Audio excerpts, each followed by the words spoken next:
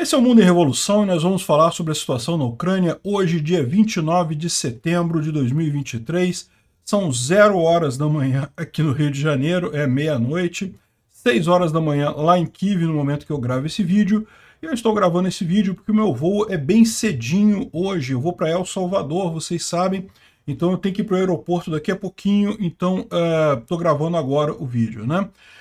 Chegando lá, dia, o vídeo de amanhã já deve estar no horário certinho, não deve ter mais problema, tá, gente? Mas então, o que, que teve de novidade? Teve uma grande, uma grande explosão ou ataque ucraniano aqui na região de Kerch, mas não foi na ponte de Kerch, não foi na ponte da Crimeia, foi nessa outra cidade aqui chamado Glazovka. Essa outra cidade aqui talvez tenha sido algum sistema de defesa antiaéreo russo que foi atingido pelos ucranianos, alguma outra coisa foi atingida ali. Também temos algumas informações aqui sobre avanços ucranianos aqui na região de Orihiv, também aqui na região de é, é, Klishivka, né, em Barmut, e várias outras informações aqui da linha de frente. Como a gente falou ontem, o Jens Stoltenberg, que é o comandante-chefe da OTAN, esteve em Kiev ontem junto com os ministros da Defesa da França e da Inglaterra. Ninguém sabe o que eles conversaram. O papo, no final das contas, a declaração deles foi muito genérica, dizendo que é, é, é para garantir o apoio à Ucrânia e que a OTAN vai aumentar a produção de munição para a Ucrânia e coisa e tal. Não teve nenhuma declaração assim diferente, né? Mas vocês sabem, é lógico que essas reuniões de pessoas de alto nível, nem tudo que é negociado é falado para o público. Uma outra notícia interessante é que a Ucrânia declarou hoje que é autossuficiente em gás, né? Vocês sabem, um dos motivos dessa guerra são os enormes reservatórios de gás que foram identificados aqui no Oblast de Poltava, que permitem não apenas a Ucrânia ser autossuficiente em gás, como também exportar gás para a Europa. Essa é uma preocupação muito grande da Rússia, porque até o início dessa guerra a Rússia não tinha competição na hora de exportar gás para a Europa. Né?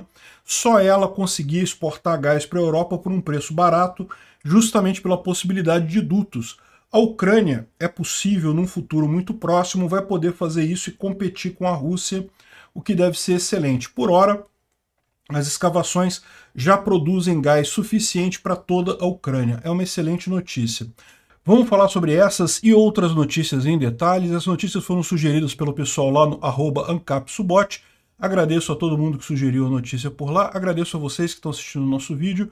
Se você gosta do nosso conteúdo, por favor, deixe o seu like e se inscreva aqui no canal. Né? E lembrando que o site ancap.su voltou ao ar. Você já pode sugerir novamente notícias por lá também, tá? O, uh, quem está fazendo agora o site é o Coreia com K, o endereço é o mesmo, ancap.su. Em breve a gente vai botar lá também o endereço do Mundo em Revolução, mas se você quiser sugerir alguma notícia para a gente falar aqui, você pode entrar lá, tem que cadastrar o usuário de novo, tá? Porque a gente perdeu toda a base de dados que tinha lá, então tem que começar de novo o cadastro, mas você pode sugerir notícias para a gente lá. Bom, falando sobre a situação aqui na Ucrânia, a grande notícia é essa daqui, olha só, uma grande explosão aqui na região de Kerch, na Crimeia. É, não se sabe exatamente o que, que houve, né? Só dá para ver aqui um, um, grande clarão aqui, uma, algo pegando fogo, uma grande explosão. Essa outra imagem aqui também parece impressionante, foi, foi um, um fogo grande nessa região aqui, né? Dá para ver que é uma região grande pegando fogo aqui. Essa região aqui, o pessoal fez a geolocalização é perto da ponte da Crimeia. A ponte da Crimeia está aqui embaixo. Deixa eu tirar minha cabeça daqui. Tá vendo aqui? Aqui é a ponte da Crimeia, aqui embaixo. Ó. Nessa região aqui é a ponte da Crimeia. Então, assim, é perto, mas não é na ponte da Crimeia. É nessa vila, essa vilazinha aqui pertinho, chamado Glazivka, né? Então, a gente não sabe exatamente o que foi atingido aqui nessa região. Tá pegando fogo, é alguma coisa importante, mas exatamente o que, que foi atingido aqui não dá para saber. Segundo o pessoal, teve grandes explosões disso daí e eles estão avaliando isso aí. Imagina-se que no dia seguinte, amanhã cedo, a gente vai ter informação, né? Embora isso não tenha atingido a ponte da Crimeia, a ponte da Crimeia foi fechada, e foi fechada por um período de tempo maior do que eles normalmente fecham, né? Dessa vez eles fecharam a, noite, a, a ponte a noite toda para reparos. Será que alguma coisa atingiu também a ponte da Crimeia? Bom, se o reparo dura só uma noite, não deve ser nada, nenhum ataque muito grande, né? Mas como eu disse, o fato de não ter atingido diretamente a ponte da Crimeia pode ser que estavam destruindo algum sistema de detecção, algum sistema de defesa antiaéreo, né? Preparando para um outro ataque posterior, né? Mas parece que alguma coisa atingiu a ponte da Crimeia, que ela vai ficar fechada toda a noite para reparos. Aqui a informação também, aqui, ó, dada às 9 da noite, Uh, o tráfego na ponte da Crimeia será suspenso até às 6 horas da manhã do dia 29. Né? Então, se essa promessa dos russos se confirmar, no momento que você estiver vendo esse vídeo, o tráfego já voltou à, à, ponte da Crimeia, mas a gente não tem como saber. Nesse momento, a gente não sabe. São é, é meia-noite aqui no Rio de Janeiro, 6 horas da manhã lá, lá em Kiev, né? E na Crimeia é o mesmo, mesmo horário lá de Kiev. Enfim, foi alguma coisa que aconteceu ali, alguma coisa grande. Não dá para saber exatamente o que, que foi, né? Como vocês sabem, eu vou viajar amanhã cedo, então eu não tenho como fazer um, um vídeo se tiver alguma grande novidade amanhã cedo. Mas se tiver alguma coisa significativa, quando eu chegar lá no meu destino, lá em El Salvador, na cidade de São Salvador, eu vou fazer um vídeo adicional para complementar as informações, né? Bom, uma outra notícia interessante é que a Legião é, Liberdade da Rússia e o Corpo Voluntário Russo, ambos falaram que estão lutando, estão fazendo uma nova incursão na República de Belgorod, ou Bilgorod, como eles gostam de chamar, né? É, vocês lembram a Legião Liberdade da Rússia e o Corpo Voluntário Russo são grupos de russos que são contra o Putin, então eles estão do lado dos ucranianos e têm feito alguns ataques lá na região russa, principalmente ali em Belgorod, mas também já fizeram em Briansk, em vários outros lugares. Né? Segundo eles dizem, eles estão nessa região aqui, muito embora a, a, a, as autoridades russas da região digam que eles não estão lá não, que eles não estão fazendo nada não. Eles estão dizendo que estão fazendo. Os russos dizem que não estão fazendo. Aqui, ó, a Liberdade da Rússia anunciou que eles estão restartando, reiniciando as operações lá em Bilgorod, e uh, nós não temos nenhum ferido nem morto entre os legionários, nós estamos trabalhando de acordo com os planos, deixe as conversas sobre campos minados para o pessoal lá, e nós vamos continuar a limpar a nossa casa da sujeira do Putin, né? Ou seja, eles estão aí seguindo ali naquela região. N não fizeram nada, estão dizendo que vão fazer, né? Aqui, ó.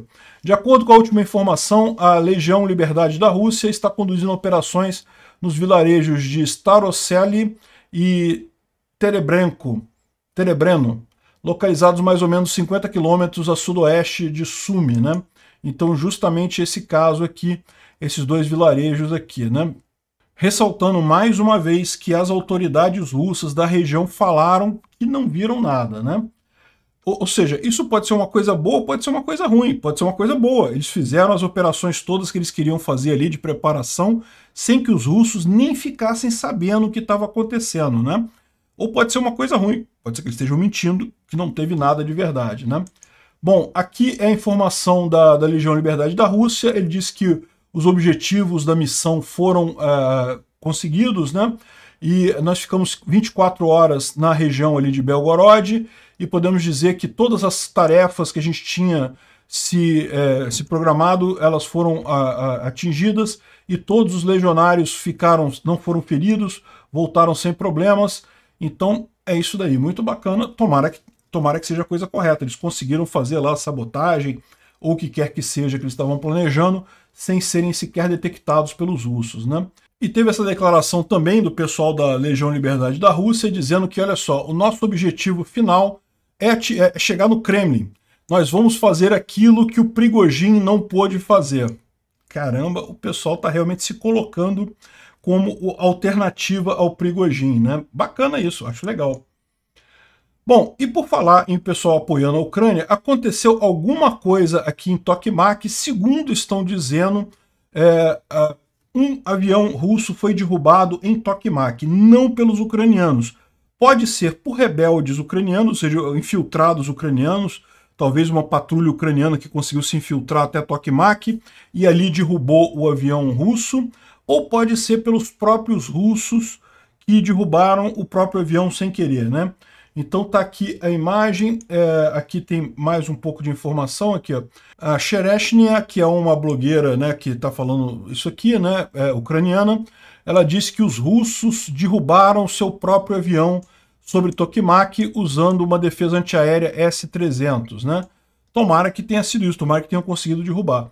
Agora o que o pessoal está falando aqui é que na verdade foram é, partisãos lá da cidade de Tokmak que derrubaram o avião é um pouco mais difícil de acontecer. Né? Em tese, você tem armas anti-avião, armas é, é, manuais anti-avião, mas quando você dispara uma arma dessa, você, você chama muita atenção. Então é difícil esse pessoal infiltrado usar esse tipo de arma. Enfim, não sabemos. Vamos ficar sabendo mais adiante. O fato é, teve um avião russo que foi derrubado ali em Tokmak, né? Bom, essa outra mensagem aqui é bem curiosa, é do blogger russo, esse aqui é o blogger russo do Vá Majora, né, dois majores, e ele está falando algumas coisas aqui que são assim meio enigmáticas. O que ele está falando aqui é justamente que ele não pode falar muita coisa sobre a guerra, o que dá a entender que as coisas estão indo mal para os russos. Olha isso. Isso aqui é a tradução desse, desse post aqui, né? Dessa coisa no, no coisa, né? Aqui, ó, é, caros é, leitores, é, nós precisamos explicar um negócio. Ah, os oficiais de segurança de Belarus, eles muitas vezes usam Belarus para não falar da Rússia, então pode ser que estejam se referindo aos oficiais de russo, aos oficiais russos, disseram que nem tudo que existe de verdade pode ser revelado publicamente. Então, algumas coisas, alguma coisa disso é causada por é, problemas éticos, né? E algumas coisas por, uh, por não ser agradável, por, pelo inimigo ficar uh, gostar de ouvir isso. Então, eles estão dizendo aqui que eles não podem falar o que está acontecendo, porque o inimigo, no caso os ucranianos, gostariam de ficar ouvindo esse tipo de coisa. Existem mais do que problemas suficientes no exército russo, no sentido mais amplo possível dessa, dessa frase. É, e eles são mais sentidos quanto mais eles chegam perto da linha de frente porque quanto mais perto você está dos centros de controle, é, existem mais estatísticas e preparação para reuniões e coisa e tal. Ou seja, o que ele está reclamando é a situação está crítica na linha de frente e a impressão que dá é que no centro de controle, no pessoal mais na retaguarda, o pessoal está só fazendo reunião, não está é, levantando estatística, não está fazendo nada de verdade. Né? Na linha de frente, como não houve nenhuma mudança de pessoal decisiva, e não vai haver nenhuma, é, ninguém vai mudar a, a, os comandantes ali, os mesmos problemas continuam de várias formas: comunicação, logística, entrega, veículos, regulamentação, pneus para equipamentos, drones e enumera um monte de coisa de problemas aqui, né? Para não dizer que nada está sendo decidido é uma mentira, mas seja lá qual for o nível de problema, está sendo resolvido de uma forma jesuíta masoquista. É, é curioso isso porque eu não faço ideia se isso aqui é, um, é uma, uma ofensa ou se é um elogio né, para os jesuítas. A, a, a, Igreja Ortodoxa gosta dos jesuítas ou não, né? Aqui no Brasil tem muito jesuíta, o pessoal aqui veria isso como uma coisa positiva, né? Mas eu imagino que lá talvez a visão ele esteja, ele esteja sendo crítico da coisa, né? Ele continua aqui descrevendo os problemas e coisa e tal, mas o que ele está querendo dizer aqui é exatamente isso, né? O, o, as, a linha de frente está com problemas, e o comando, o resto do exército não consegue resolver esses problemas, não consegue se mover para resolver esse tipo de problema. Uma situação bastante complicada. Em determinado momento ele fala aqui que ele não pode falar nem 20% do que, é, do que acontece na linha de frente, porque seria considerado uma, uh, um problema para o exército russo. Né? E com todos esses problemas na linha de frente, como era de se esperar, a gente tem aqui uma atualização lá na região de Zaporizhia, e o Pace Taiwan fala aqui ó, que uh, o, o, tanto que, no, que as minhas fontes podem dizer, os ucranianos avançaram e existem sucessos na região. Aqui ele está falando Zaporizhia, ele quer dizer Robotny, né? Novoprokopivka, Verbov, aquela região aqui. Essa região aqui da linha de frente, Verbov ou Verbove, uh, Novoprokopivka e, enfim, houve avanços ucranianos, né? A televisão russa colocou no ar um vídeo ao vivo dizendo que Verbove e Novo Prokopivka ainda estavam sob controle russo total a partir de Tokmak, 15 a 20 quilômetros dali. o 7 e a 76 Brigadas do VDV, que foram trazidas para atacar os ucranianos fazendo uma pinça na retaguarda, estão sendo destruídas pelos ucranianos. É óbvio agora que ambas as unidades, é, o objetivo delas era ganhar tempo para os russos estabelecerem novas fortificações próximas de Tokmak. Eles foram sacrificados. Né? A gente já viu esse negócio, parece que o 7 e o 76 é, Brigada do VDV foram realmente é, destruídas nisso daqui e aparentemente era isso. É, eles tentaram fazer um movimento de pinça, atacar aqui na retaguarda ucraniana para tentar fechar esse saliente ucraniano, não conseguiram e foram destruídos pelos ucranianos aqui, mas aparentemente os russos sabiam que não tinha como, a, a ideia era justamente ganhar tempo para eles conseguirem reforçar as defesas aqui em Tokmak. Né? É lógico que os russos vão reforçar as defesas à medida que os ucranianos avançam nas defesas anteriores. A questão é que cada vez eles vão ter menos tempo para isso, porque cada vez mais os ucranianos avançam mais rápido, né? as primeiras defesas são as mais difíceis, depois que vão avançando é cada vez mais rápido, então eles vão ter menos tempo para preparar novas defesas. Enfim, tem essa outra é, informação aqui de que Klishivka está segurando, né, ou seja, mais em frente aqui, na região de Barmut, que é o outro lugar em que está havendo confronto aqui, e os russos estão dizendo aqui que é, o inimigo conseguiu atravessar a linha de trem em um lugar, teve uma briga muito forte, coisa e tal, e é, eles, eles, trabalharam de forma competente, não são é, soldados de, da defesa territorial, Defesa territorial são soldados que normalmente tomam, fazem patrulha né, de regiões da Ucrânia.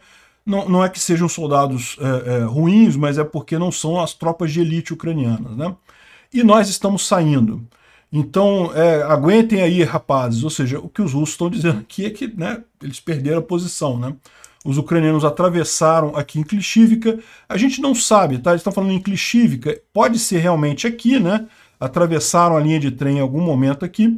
Mas como a gente falou ontem, né, eles, estavam, eles tinham conseguido atravessar a linha de trem também aqui em Andrívica. Pode ser que esse pessoal aqui esteja se referindo a esse breakthrough que houve aqui em Andrívica, que os ucranianos conseguiram já conquistar é, posições depois da linha de trem aqui nessa região. Né? E lembra, a gente explicou ontem, a ideia deles aqui é justamente, se eles atravessarem aqui a linha de trem, é fazer um ataque sul, e aí eles vão tornar a posição dos russos aqui em Kurdiumívica e Zelenopilia totalmente é, inviável. Os russos vão ter que sair daqui ou vão acabar todos massacrados aqui com o ataque do flanco ucraniano vindo aqui, né? Bom, o Instituto para Estudo da Guerra ele fala aqui sobre a continuidade das operações próximas a Barmut e em Zaporizhia, nenhuma novidade aqui. Eles, façam, eles falam aqui ó, que as forças russas reduziram a força, a, a, a frequência de suas ofensivas localizadas ali na região de Kupiansk, Svatov e Kriminá.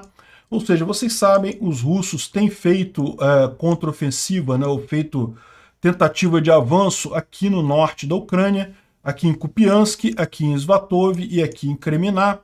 Uh, não são tentativas muito consistentes, mas a ideia dos russos é justamente de conseguir prender as forças ucranianas aqui, né? forçar os ucranianos a mandar reforços para cá de forma a tirar reforços aqui da linha de frente principal, né? mas não estão conseguindo nada. Né? E teve uma redução na intensidade disso, porque acaba que os russos tiveram que mandar mais tropas lá para o sul. Aqui, a aviação russa está aumentando o ataque em Kharkiv e em Kherson, a gente falou sobre isso também.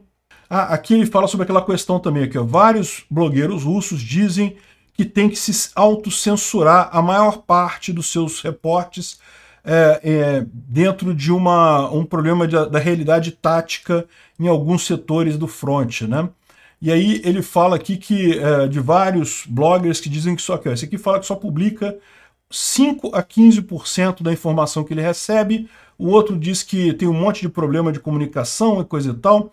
Enfim, os bloggers russos não estão falando sobre a situação ali em Verbovê e, uh, e Novoprokopivka, justamente porque a situação está ruim para os russos e eles não querem divulgar essa informação. Vocês sabem, os ucranianos também falam muito pouco sobre isso, justamente para manter o segredo operacional. Então a gente fica nessa situação que a gente não sabe exatamente o que está acontecendo ali naquela região, mas como disse o Pace Taiwan, a, a, o, o pessoal disse que está avançando.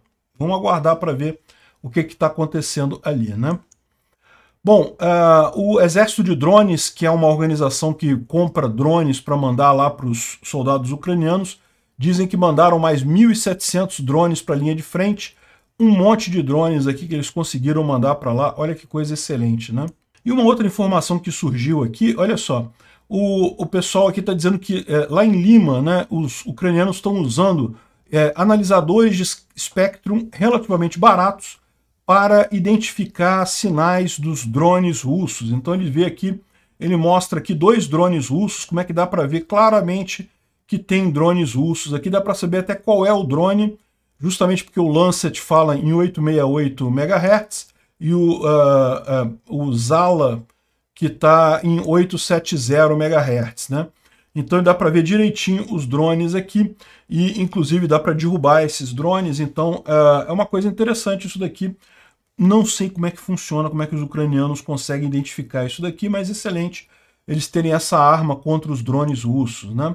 Com relação ao ataque ao quartel-general aqui da frota do Mar Negro lá na Crimeia, lá em Sevastopol, a gente não tem informação ainda sobre o, o almirante Sokolov, que é o comandante da frota do Mar Negro, que teria morrido, aí depois apareceu em um monte de vídeo lá na Rússia, mas tudo vídeo estranho, tudo vídeo antigo, nenhum vídeo que tivesse garantia de que fosse coisa recente. E a informação que a gente tem, não, a gente não tem ainda um martelo batido oficial dizendo isso, mas a maior parte da, da digamos, da esfera de informação aqui ucraniana está acreditando que ele morreu mesmo, que foi confirmada a morte dele. A tentativa dos russos de dizer que ele está vivo é tão evidente que fica claro que tem alguma coisa errada ali, né? Então, uh, olha só como é que está agora o quartel-general lá, todo queimado, todo destruído por dentro. E lembra, boa parte dos vídeos que aparece o major, o, o almirante Sokolov distribuindo medalha, fazendo não sei o que lá, é dentro desse prédio aqui. Esse prédio está totalmente destruído. Não tem como essa imagem ser uma imagem recente, né? Enfim, uh, a visão do pessoal é que ele, ele morreu mesmo, né? Mas vamos aguardar porque a gente não tem ainda a confirmação oficial. Agora, a Natalka traz aqui a informação é, de como que os russos realmente escondem a verdade da população deles e dos ucranianos. Lembra daquele ataque ucraniano que teve, que eles atacaram um submarino e o, um navio de desembarque que estava na doca seca lá em Sevastopol, né? Enfim, é, os russos falaram que não, que teve pouquíssimas baixas, que não teve nada de baixa e coisa e tal. E agora a gente tem a informação aqui de um grupo que está fazendo a coleta de doações para as famílias dos é, marinheiros mortos nesse ataque aqui. Ó. Durante um ataque de mísseis na, na, na, região de Sevastopol, no dia 13 de setembro, membros do submarino Rostov-on-Don, que estava sendo reparado na droga seca, foram feridos. E uh, é, para ajudar esses, esses membros feridos lá do submarino, o clube eh, anunciou que está fazendo uma, uma, um levantamento de fundos para ajudá-los. Né? E antes disso não havia informação de que uh, haveria feridos nessa tru, essa tropa do submarino. Então, assim, mortos eles não, não confirmaram, mas feridos eles já estão confirmando que houve ali. E a gente sabe, pelas informações dos ucranianos, que teve sim feridos e mortos, tanto no submarino quanto no navio de desembarque. Né? E olha só que coisa curiosa isso daqui, né? Isso daqui é um, é um monumento que acabou de ser erguido no uh, uh, Escola de Alto Comando de Moscou, que é onde o exército uh, russo treina seus oficiais, e ele mostra aqui uma, uma lista de oficiais mortos. Então, todos os alunos lá dessa escola que morreram em combate, eles ganham um espaço nesse monumento aqui, né? Justamente em honra disso, né? E o pessoal fez aqui um levantamento de quais eram em que guerra, né? Então tem muitos da guerra do Afeganistão, que foi lá na década de 90, 80 na verdade, né? E depois teve na Chechênia, aqui os, os roxos e coisa e tal. Teve no Donbass, 2014. Teve na Síria, bem pouca coisa, tem uns amarelinhos aqui. Mas olha só a quantidade de oficiais russos que morreram na guerra da Ucrânia. Todos esses pontinhos verdes aqui, né? Ou seja, basicamente metade, pelo menos, é todo mundo verde aqui, e até mais da metade, porque tem um monte de verde desse lado de cá também, né? Ou seja, dá para ver que tem muito oficial russo morrendo nessa guerra por conta só desse monumento aqui que eles fizeram essa, essa uh, colocação dos nomes aqui, né? Não, lembrando que o documento não mostra essa coisinha de cor aqui, tá? Essa coisinha de cor aqui foi depois o trabalho que o pessoal fez de identificar o nome de cada pessoa e ver em que guerra que eles tinham, que eles teriam morrido, né? Bom, como a gente falou ontem, teve um monte de gente importante lá na Ucrânia, teve o Jens Stoltenberg da OTAN, teve o ministro da, da Inglaterra, o ministro da França, e quando tem essas reuniões assim, tem alguma coisa que está acontecendo aí, alguma coisa esse pessoal foi discutir. Não foram lá bater papo de botequim, né? Enfim, o, o Zelensky fala aqui que não fala exatamente o que, que, discutiram, isso é normal nesse tipo de encontro. Ele fala aqui que uh, conversas substanciais e uh, entre pessoas que são de fato aliados e apenas uma é questão de tempo até a Ucrânia se tornar um aliado de fato uh, também, né? ou seja, uh, aliados de, de, direito também, de jure de direito. Né? Então, nós discutimos o fortalecimento da defesa antiaérea ucraniana para proteger pessoas do terror russo. Ou seja, ele não diz exatamente o que aconteceu, mas diz que foi substancial, que foi importante. Né? E uh, o Jens Stoltenberg, então, falou que, comunicou que aumentou para 2,4 bilhões de euros a, a questão de produção de munição para a Ucrânia. Isso, logicamente, é uma coisa importante. A Ucrânia está usando muita munição, vai precisar de muita munição ainda nessa guerra, mas não parece ser isso a, a, discussão dessa reunião. Essa reunião deve ter sido alguma coisa bem mais importante. Exatamente o que a gente não sabe ainda, né? Bom, uma coisa que ele falou é que uh, perguntaram para ele né, na, na, coletiva de imprensa sobre os drones que caíram na Romênia, se a Romênia não ia atingir o artigo 5 e coisa e tal. Eu já falei para vocês, não vai, não tem essa chance. E ele falou aqui, ó, a gente não tem sinais de que isso foi um ataque deliberado a um aliado da OTAN.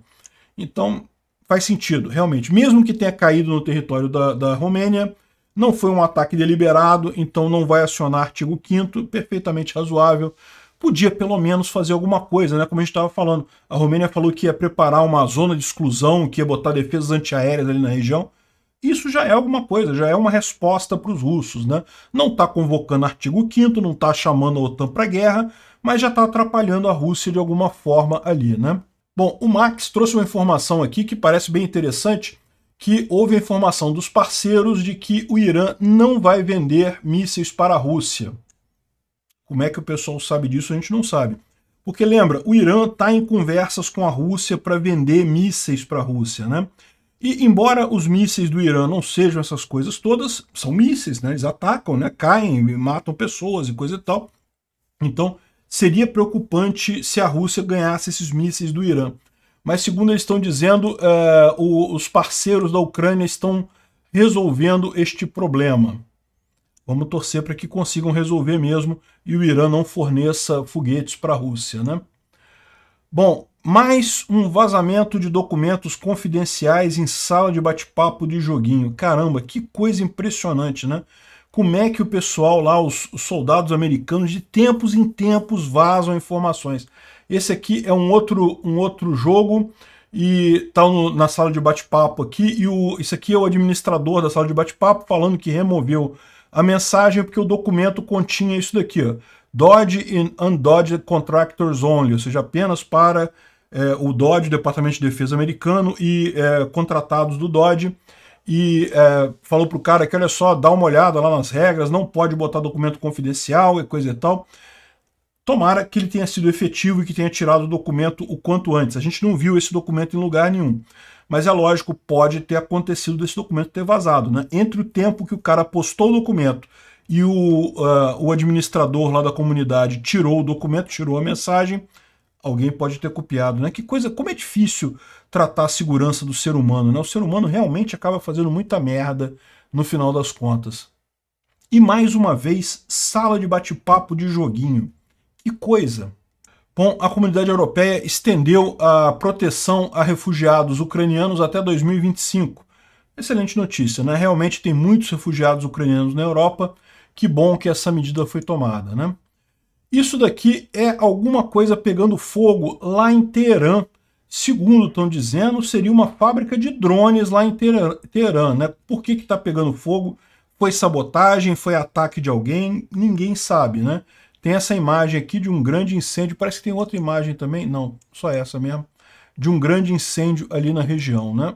Bom, isso daqui é a ironia das ironias. Vocês lembram que o, o Departamento de Defesa americano fez um, um comercial que tinha duas mulheres que eram uma, uma, militar que era filha de duas mulheres e coisa e tal. Isso foi alvo de muitas críticas, né? O pessoal conservador aqui no Brasil também criticou pra caramba. Eu falei eu não, não vi nada demais ali, não. Tem uma história bacana que conta ali, né? Enfim, e, é, mas lá na Rússia eles fizeram um vídeo todo másculo, né, para mostrar que o soldado russo é másculo e coisa e tal, né, e aquele negócio. E aí o pessoal aqui no Brasil falou isso, olha só comparação, você tem aqui esse vídeo do Dodge americano, que é tudo cheio de gay não sei o que lá, pessoas fracas e não sei o que lá, né, esse pessoal acha isso, que pela pessoa ser homossexual é fraca, né, e aqui tá o pessoal russo, olha só que vídeo másculo, de um cara muito forte, não sei o que lá. Agora saiu a informação que o soldado russo do comercial é gay. Só a ironia da coisa, né? Assim, não faz diferença nenhuma no final das contas, né? É, a hipocrisia da coisa tá aí, só para ficar registrado que o cara é um modelo gay. a ironia da coisa, né? Um apresentador russo aqui fez um ato falho, né? Um ato falho não, ele confessou a verdade aqui, né? O, o pessoal estava conversando sobre o, os, usar as armas ocidentais para atingir a Rússia e coisa e tal, usar o Taurus para atingir a Rússia e coisa e tal. E aí é, o, o, rapaz aqui, que é um dos anunciantes, aqui, um dos especialistas militares que fala isso, diz que não, que é, eles não vão usar o, o Taurus na, em território russo, vão usar só na Crimeia. Ou seja, ele está confessando que a Crimeia não é, não é russa, né? Excelente, obrigado. Pode agora sair daí e liberar a Crimeia para a Ucrânia. A gente viu ontem que os russos estavam falando em criar uma ferrovia ligando aqui Mariupol e Berdiansk e Melitopol para justamente né, agilizar o negócio aqui. Agora estão falando em uma estrada, uma estrada grande, uma autoestrada de quatro vias. Já tem uma estrada aqui, já tem uma estrada que passa aqui, ó, se você olhar nesse mapa aqui, ó, a estrada é essa amarelinha aqui. Ó. Só que ela é uma estrada simples, eles querem transformar numa estrada, uma estrada de quatro vias grandona aqui de Mariupol para Berdiansk e daqui para Melitopol. Eu não sei se isso é factível, né? mas enfim, eles estão tentando fazer isso daqui é, de novo. Mostra a preocupação deles, eles estarem já desistindo, né? já, já veem que não conseguem avançar mais com a, com a linha de frente deles, né? e sabem que os ucranianos vão avançar aqui e estão querendo preparar aqui a retaguarda nessa região para manter a ponte de terra aqui, em último caso. Né? Bom, e a excelente notícia que a gente teve, a companhia estatal ucraniana de produção de petróleo disse que está fazendo agora, está é, produzindo gás pelo, com, os, com os novos poços de gás em 2023, ela já está deixando, já está produzindo gás suficientes para ter a, a, autossuficiência ucraniana, né? Então a, já temos uma saída diária de 5,3 milhões de metros cúbicos de gás natural excelente notícia. Eu já expliquei, eu fiz até um vídeo sobre isso lá no Visão Libertária, que essa região aqui, ó, de Poltava, aqui existe uma grande bacia que eles descobriram aqui com uma enorme quantidade de gás nessa região, que seria suficiente não apenas para a Ucrânia, mas também para a Europa. Ou seja, a Ucrânia poderia substituir a Rússia fornecendo gás para a Europa. Né? Isso certamente foi um dos motivos que levou o Putin a invadir a Ucrânia aqui. Né? Obrigado por assistir o vídeo até o final. Se gostou do conteúdo, não esqueça de deixar o seu like, isso ajuda o canal a crescer e a chegar para mais gente. Se não gostou, deixe o dislike e explique nos comentários como podemos melhorar. Comente também sugestões de temas que podemos trazer por aqui. Comentários insultuosos ou defendendo ditaduras e criminosos de guerra serão sumariamente bloqueados. Agradeço a compreensão. Se ainda não é inscrito no canal, considere se inscrever clicando no botão inscrever-se abaixo e marcando a campainha para todos os avisos. Se quiser ajudar o canal, veja no nosso site como você pode fazer isso.